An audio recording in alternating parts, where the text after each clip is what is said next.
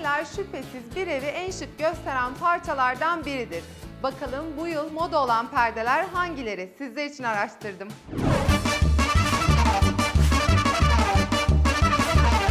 Perde denince bir türlü karar veremiyoruz. Dekorasyona uyumu, ihtiyaca yönelik kullanımı ve temizlik kolaylığıyla perde nasıl seçmeliyiz? Perde tasarımı nasıl oluyor? İşin uzmanı Ceyhun Bey'den öğreneceğiz. Nasılsınız Ceyhun Bey? Teşekkür ederim. Siz nasılsınız Müge Hanım? Teşekkürler, ben de çok iyiyim. Perde tasarlamaya karar verdiğinizde bu süreç nasıl ilerliyor? Örneğin çizim yapıyor musunuz? Çizim yapıyoruz. Her şeyden önce e, eğer müşterimiz uzaktaysa, örneğin yurt dışında ve e, ona göre bir tasarım nasıl yapabiliriz? İlk olarak evinin resimlerini istiyoruz. Neden? Müşteriyi tanımamız çok önemli. Çünkü evindeki hayatı klasik mi, modern mi? Bu bağlamda bunun üzerinden resimlerden sonra yola çıkıyoruz. Perde seçerken nelere dikkat etmemiz gerekiyor? Kumaşı nasıl olmalı? Ya özellikle şimdi e, ütü iste, istemeyen ürünler çok çok daha tercih ediliyor. Neden? Artık e, herkes çalışıyor. Herkesin çok kısıtlı zamanı var. Bundan dolayı e, zaman çok çok önemli. Bunu perde yıkamakla, takmakla, bunun gibi şeylerle uğraşmamalıyız. Storlar aslında çok kullanışlıydı ve zebra modelleri vardı. Onlar hala trend olma yolunda ilerliyorlar mı? Zebra Store'da şöyle bir artı bir durum var. Yıkama şansımız yok. Her ne kadar modern bir görüntü de verse Zebra ya da spor perde, o yıkamadığı zaman içi rahat etmiyor. Bundan dolayı lens perdeyi piyasaya sürdük. Bunu yıkama şansımız var. Pratik, tek perdede hepsini çözebiliyoruz.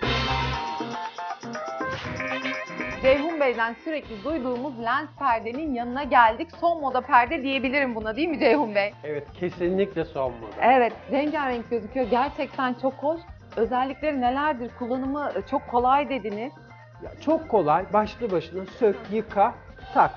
Bir kere yıkanıyor. Her bir aradan açılıyor. Hani dışarıyı görebiliriz, balkonlarımızdan çok rahat giriş çıkış yapabiliriz. Bununla Bunun beraber kumaşı nedir? şanzelize doku. Bundan dolayı ütü istemiyor. 30 derecede, 600 devirde makinamızda yıkama torbasıyla, bunu da niye yıkama torbasıyla yıkıyoruz? Neden? Yıkama torbası da Aynen Bakın. gösterelim. Bunda yıkamamızdaki en büyük avantaj tam buradan dolayı perdemiz zarar görmez. kullanışlı, kullanışlıydı ve zebra modelleri vardı.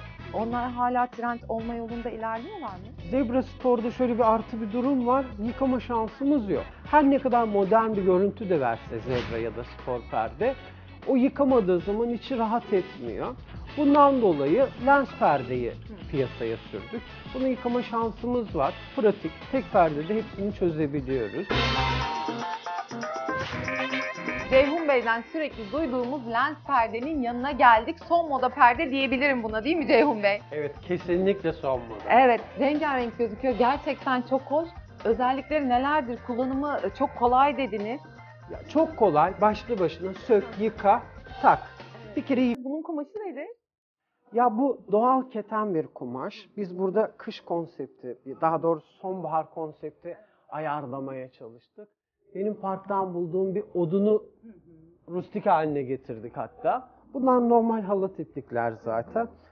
Ee, bunlar da perde aksesuarları tabii. Perde aksesuarlarını neye göre seçmeliyiz? Tabii onların e, duvara monte edilen şekilde olanları da var biliyoruz hepimiz. Ya perde aksesuar deyince Renso'dan tutalım. İşte kol bağı, sarkıtmalar. Ama sarkıtmalar artık biraz daha demode oldu. Çok fazla kullanılmıyor. Çok da fazla tercih de etmiyorum işin açık.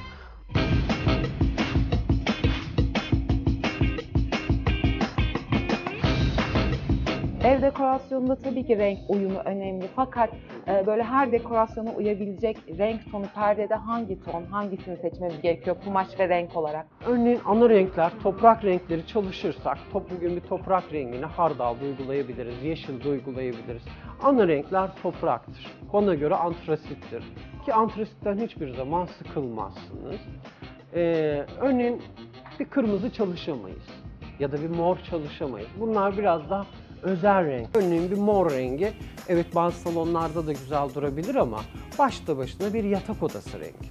Çünkü özel bir renktir. Ama bunun yerine hafif böyle su yeşil tonları, hani daha böyle toprağa yakın, turkuazın o e, yumuşak tonlarını kullanırsak uzun vadede sıkılmadan kullanabiliriz bunları.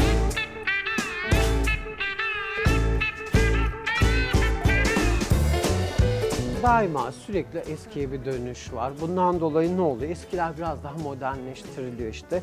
Örneğin taşlar kullanıldı burada. Bununla bir- birlikte tabii ki imitasyon taşlar da kullanılıyor. Ayrı bir konu. Tabii gerçek olduğu için fiyat aralığı da Tabii, artıyor. ona göre de değişiyor. Ne kadardan başlıyor e, perdeler? En uygun olanları hangisi? Ne kadara kadar çıkıyor? Ya genel olarak düşündüğümüz zaman ortalama bir evi 2000 liraya da mal edebilir. En tavana da çıkabiliriz. Hani bu evle alakalı yani 5 artı 1 de var, 1 artı 1 de var.